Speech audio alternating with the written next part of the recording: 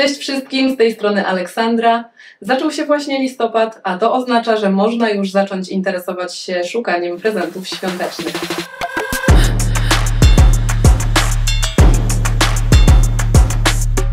Nie wiem jak wy, ale ja co roku obiecuję sobie, że w tym roku na pewno wszystko zrobię inaczej i że już tym razem na pewno kupię wszystkie prezenty z wyprzedzeniem. Tymczasem nigdy nie dotrzymałam słowa, które sama sobie co roku wmawiam, także żeby sobie tego oszczędzić, pomyślcie o tym zawczasu. Jeżeli wśród swoich bliskich macie osoby, które interesują się makijażem, albo chcecie zrobić prezent sami dla siebie, to ja upolowałam dzisiaj dwie rzeczy, które wydaje mi się, że mogą się do tego celu świetnie sprawdzić i dzisiaj wspólnie to przetestujemy. Będąc dzisiaj w Sephorze, oglądałam różne zestawy i teraz jest ich naprawdę mnóstwo, zarówno takich większych, jak i mniejszych, takich, które składają się z wielu produktów, ale jest bardzo dużo takich, które są właśnie dwuproduktowe i one jakoś najbardziej przyciągały moją uwagę. A tymi, które ostatecznie zainteresowały mnie najmocniej, są dwa zestawy od Huda Beauty.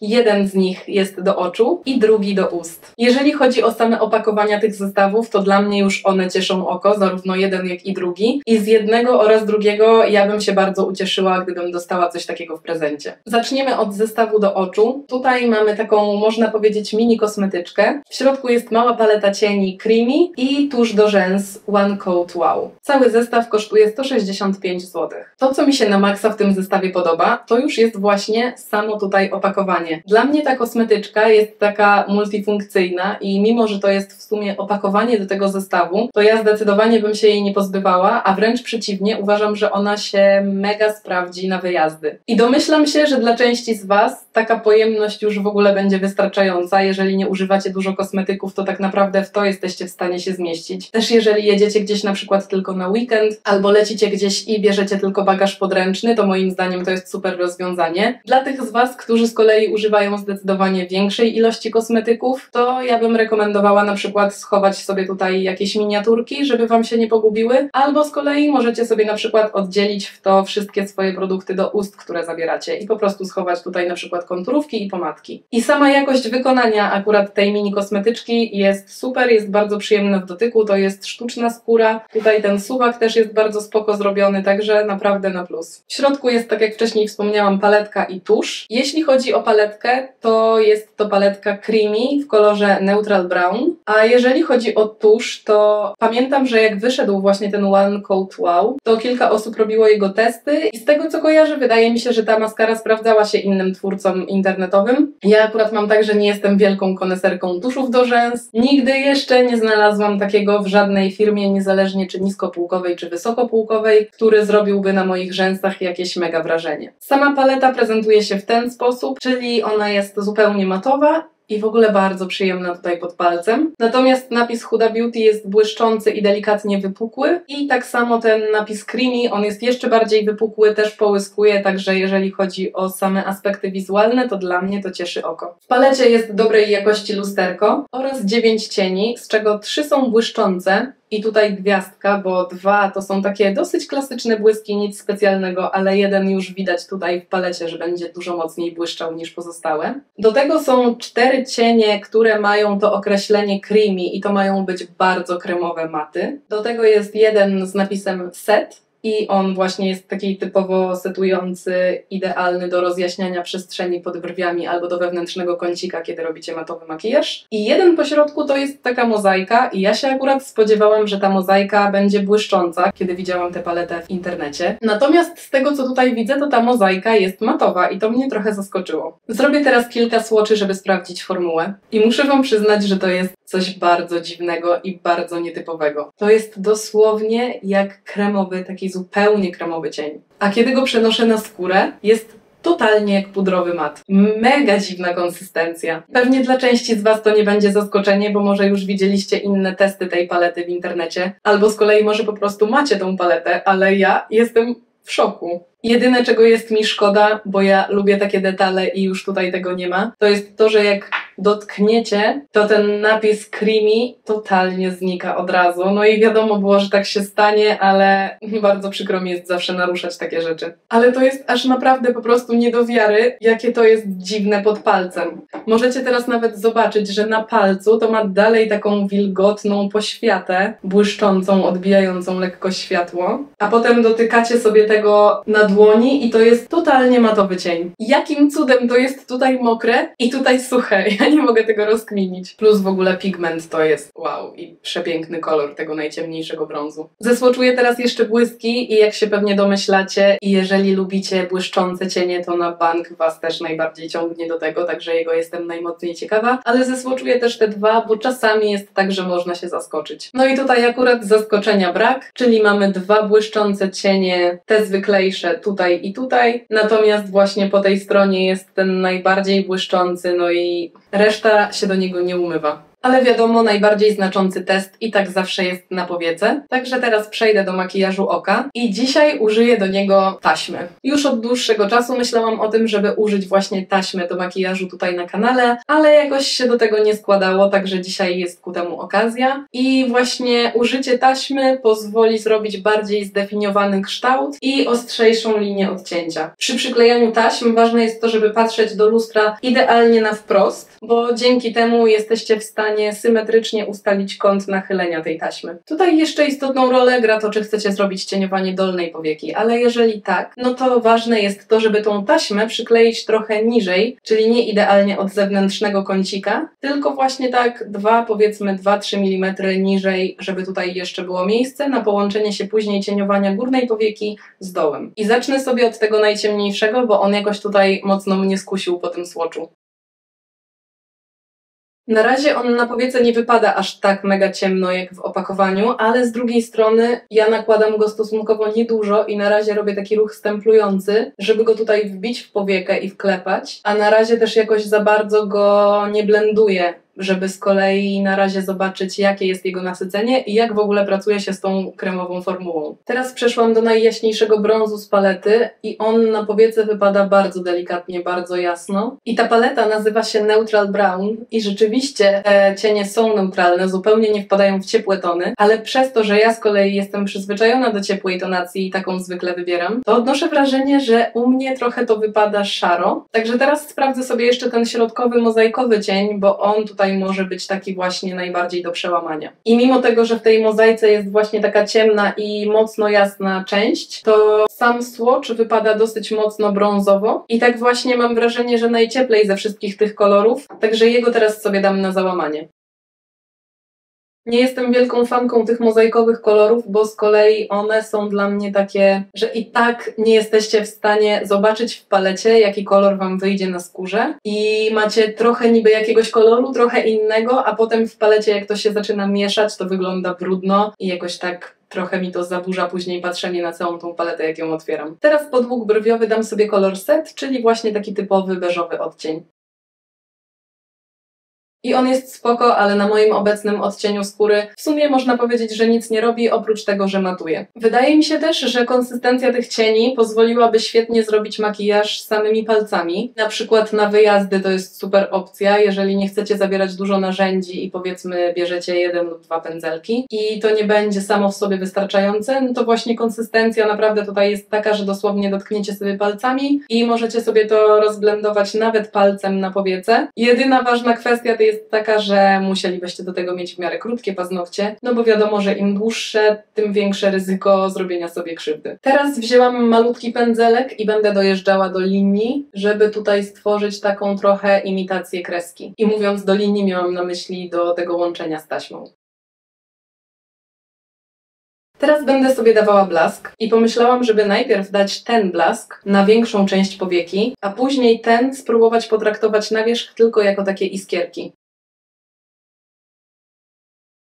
Zrobiłam sobie przed chwilą test latarki i akurat mimo, że tutaj w tym momencie nie wydaje się jakoś bardzo ładny ten cień błyszczący, to moim zdaniem właśnie w takim świetle wieczorowym on będzie robił super efekt dla osób, które nie lubią przesadzonego efektu, bo on bardzo ładnie się mieni takimi bardzo drobno zmielonymi iskierkami i właśnie w wieczorowym świetle będzie to wyglądało ładnie, będzie przykuwało wzrok, że coś tam się świeci, ale w taki nieprzesadzony sposób i zupełnie nienachalnie. I teraz na środek wiedzie ten najmocniejszy blask. No i on już odbija światło dużo bardziej konkretnie. I dosłownie już chciałam mówić, że musicie uważać na jego konsystencję, bo ona pod palcem jest dużo mocniej płatkowa, ale teraz widzę, że do powieki przykleja się po prostu bezbłędnie. Nie ma totalnie żadnego osypu, ani jedna drobinka się tutaj nie osypała na policzki. Także możecie śmiało po prostu wjeżdżać palcem w samą formułę i dawać to na oko i wszystko jest ekstra. Teraz użyję takiego skośnego małego pędzelka i będę nim wklepywała ten najciemniejszy cień tutaj wzdłuż linii rzęs. Dzięki temu, że ten cień ma aż tak kremową formułę, to do przyciemnienia linii rzęs on nadaje się po prostu perfekcyjnie. Chyba jeszcze nigdy nie miałam do tego tak idealnego cienia. Teraz jest moment, kiedy można odkleić taśmę i pamiętajcie, jeżeli gdzieś wyjechaliście za daleko, to zawsze to później jeszcze da się wyczyścić, także totalnie się tym nie przejmujcie. Też wiadomo, że taka taśma ma prawo Wam zjeść troszeczkę tego, co było pod spodem. Także ja na przykład tutaj jeszcze będę musiała sobie dołożyć róż, bo widzę, że tutaj właśnie mi go tak trochę zjadło w tym miejscu, ale to nie jest problem. Widzę też, że ta kreska jest trochę dłuższa niż ja bym chciała, także to sobie zaraz podczyszczę po prostu odrobinę korektorem.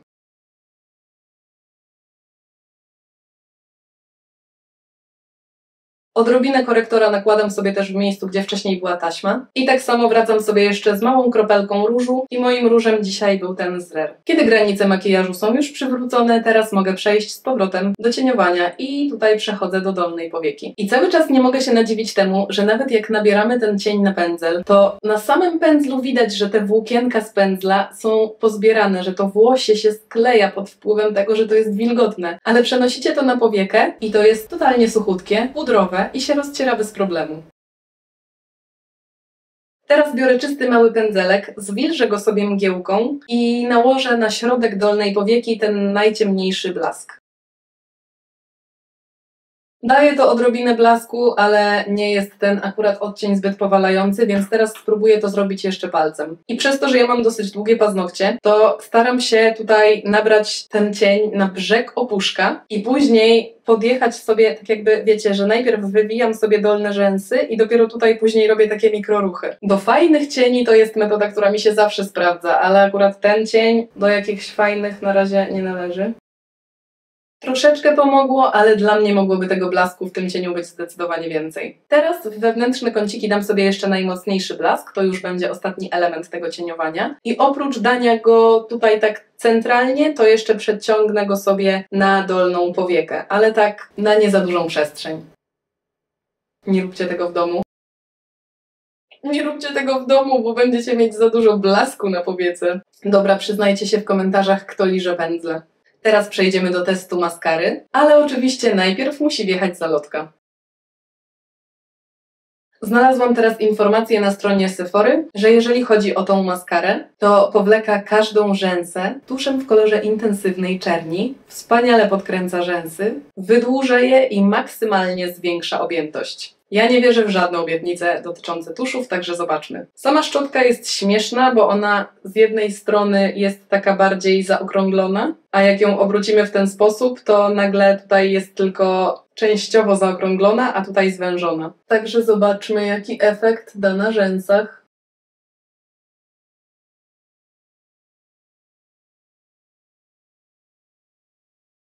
No dobra, maskara nazywa się One Coat Wow, czyli jedna warstwa wow, albo wymyślając dla niej polską nazwę, jedna warstwa niesamowite, bo chyba wow najbardziej kojarzy mi się z takim efektem, że wow, coś jest niesamowite. No i jeżeli mam być szczera, to w sumie jedna warstwa na pewno w tym tuszu jest wystarczająca i jest zauważalna, znacząca różnica między tym okiem a tym, gdzie nie ma tuszu w ogóle. Będąc w tym opisie jak najbardziej dokładną, to pracując sobie tą maskarą na oku, gdzie ona jest, jest, to ona się zachowywała trochę jak taka maskara, którą już dużo razy otwieraliście, zamykaliście, do środka dostało się powietrze i ona zdążyła już zgęstnieć. Ogólnie do takiego efektu bardzo często dążymy, kiedy mamy nową maskarę, bo zwykle maskary przy tym, kiedy są nowe, są bardzo rzadkie i tak naprawdę często maskara zyskuje przy dłuższym użytkowaniu. Tutaj ona już od samego początku jest taka właśnie gęsta, ma zwartą strukturę i dodatkowo dla mnie właśnie efekt tej jednej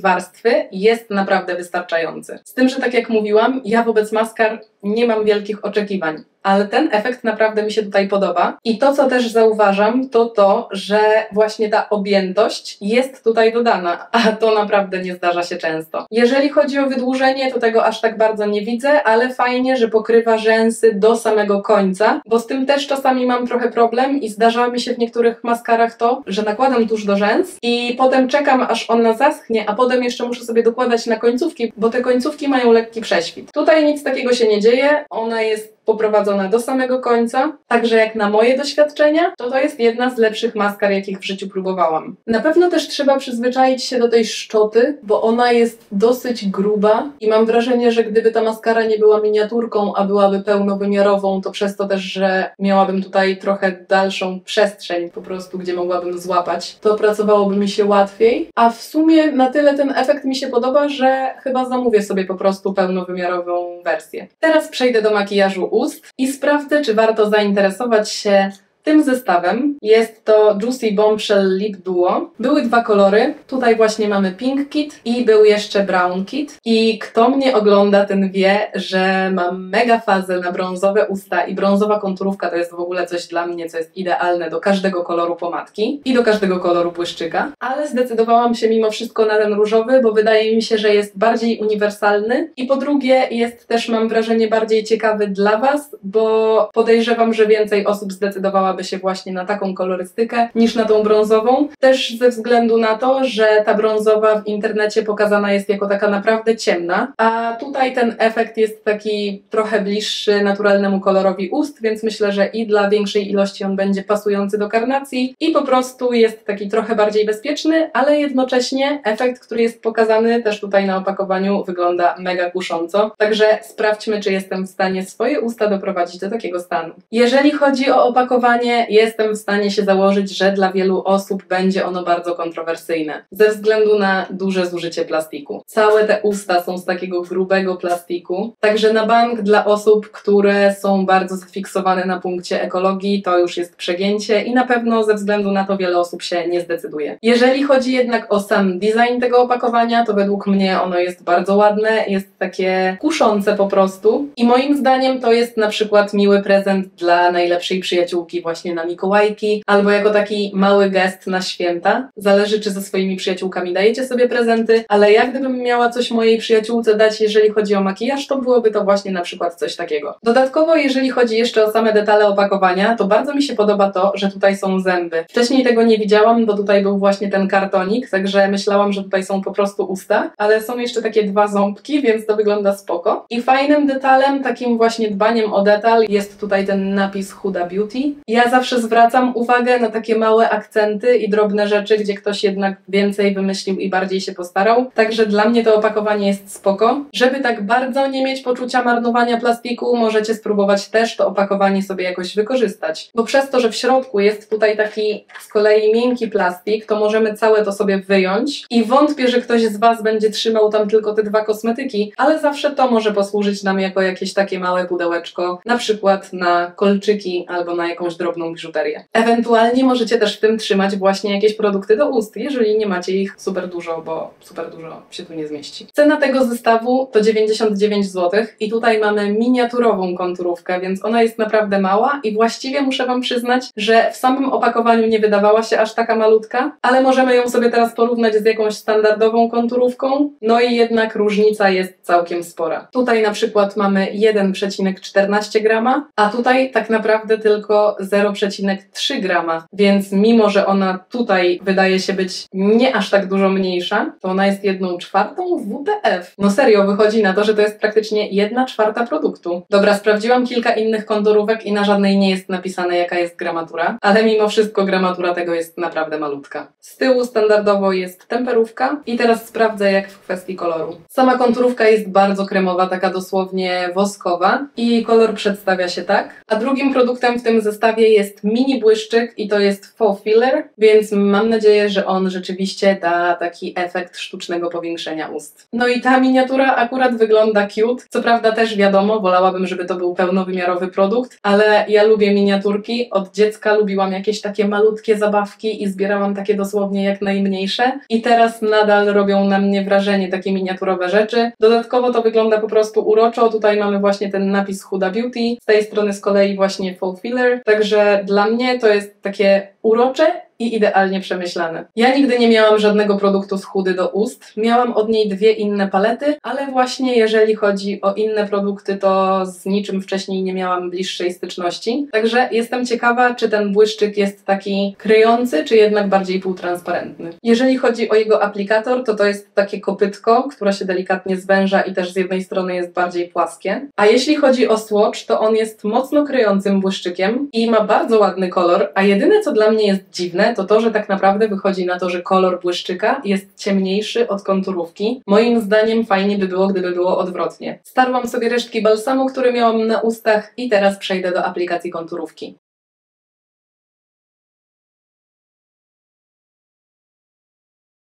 Jeśli chodzi o pracę z konturówką, jest totalnie bezproblemowa. Da się wyrysować precyzyjny kształt, ona sunie po prostu jak masełko. Myślę, że to już w tych czasach jest coś dosyć naturalnego i raczej nie jest to niesamowicie wyjątkowe, ale mimo wszystko przyjemnie, że tutaj też mamy dobrą jakość tej pracy z produktem. No i teraz przejdę do tego cute mini błyszczyka. I on jest tak gęsty, że tak jak w innych błyszczykach trochę miałam w ostatnim czasie problem z tym, że trzeba zanurzać i nakładać, zanurzać i nakładać tak tutaj, kiedy się go wyciąga, to dosłownie na początku wisi z niego jeszcze taka duża kropla, bo on jest bardzo gęsty. Także zobaczmy, czy to nie jest z kolei za dużo.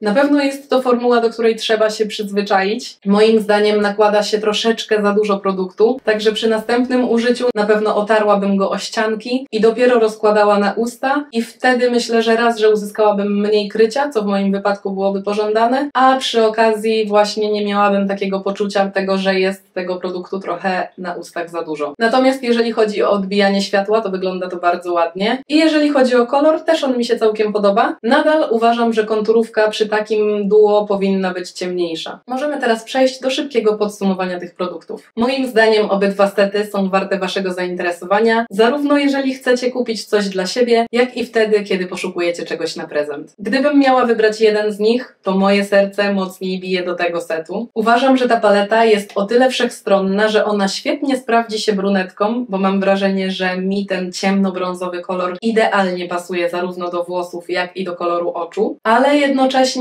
To będzie super paleta dla osób o trochę chłodniejszej karnacji i też dla osób trochę bardziej bladych. Jednocześnie jest to taka dosyć popularna kolorystyka i często wybierana, raczej z tych bezpieczniejszych, także moim zdaniem właśnie na prezent sprawdzi się super, bo raczej tutaj nie przestrzelicie z tym, że ktoś może nie lubić dużo koloru. Cienie creamy w tej palecie są mega interesujące i jeszcze na dniach będę sobie dalej z nimi pracować, bo bardzo mnie to zaintrygowało, że właśnie coś może być tak kremowego i pudrowego zarazem. Dodatkowo tutaj tutaj zakochałam się w tym błysku i myślę, że dla nikogo to nie będzie zdziwienie. On jest przepiękny. Uważam, że bardzo dużo daje właśnie taki mały akcent na wewnętrzny kącik, jak ja dzisiaj zrobiłam. I do wielu makijaży to się sprawdzi, dzięki też temu, że jego kolorystyka również jest neutralna. Także on się sprawdzi do wielu makijaży. Właśnie sam taki akcent tutaj do środka i jednak to już jest coś, co jest taką dodatkową błyskotką. Jak to w paletach bywa, zawsze coś jest na minus i zawsze jest coś moim zdaniem, co Wam się nie sprawdzi. Tutaj takim cieniem jest ten błysk ciemny. Jakoś nie za bardzo widzę go na górnej powiece, na całej. Tutaj na dole też nie za bardzo dał jakikolwiek efekt, także zawsze w palecie jest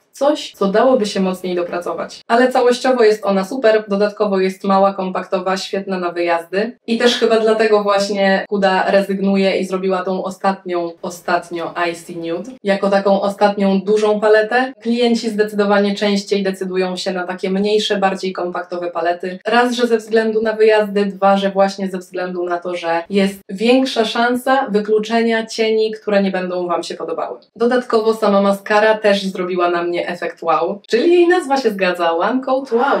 I rzeczywiście tak jest. Po tej jednej warstwie ja naprawdę jestem bardzo zadowolona z tego, jak dzisiaj wyglądają moje rzęsy, także ją też będę jeszcze testowała w najbliższych dniach. Jeśli by się coś miało zmienić i miałabym być z jakiegoś powodu z niej niezadowolona, dam Wam na pewno znać w opisie, ale podejrzewam, że wszystko będzie ok.